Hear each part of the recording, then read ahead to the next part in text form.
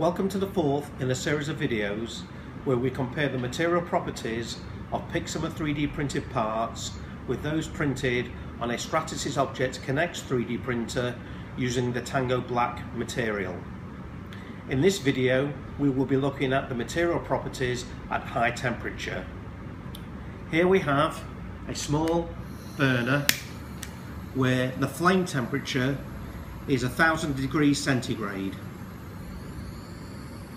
So first we will heat the Tango Black part.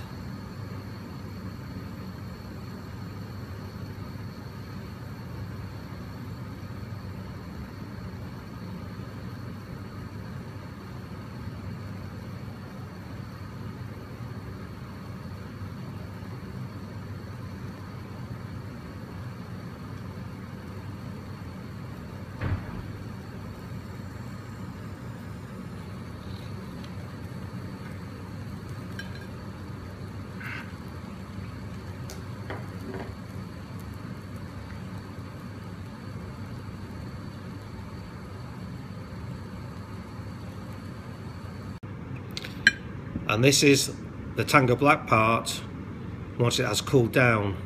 And as you can see it completely deforms. And now we will repeat the experiment but this time using 3D printed silicon from the Picsima system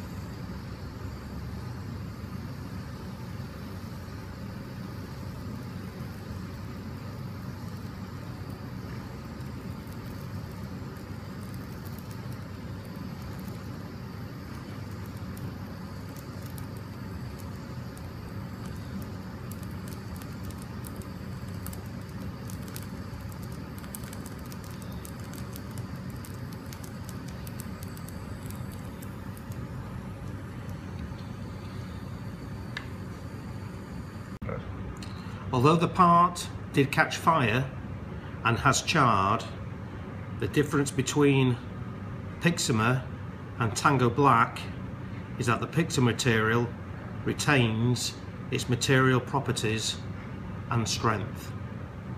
We are not saying that you should ever use these parts, whether it's Tango Black or Picsima, at a thousand degrees centigrade. The point of this video is to show that Picsima can be used at very much higher temperatures than Tango Black.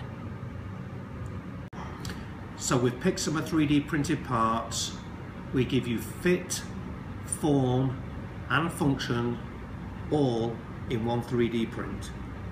If you want to find out more, then please contact us at www.picsima.com. Thank you.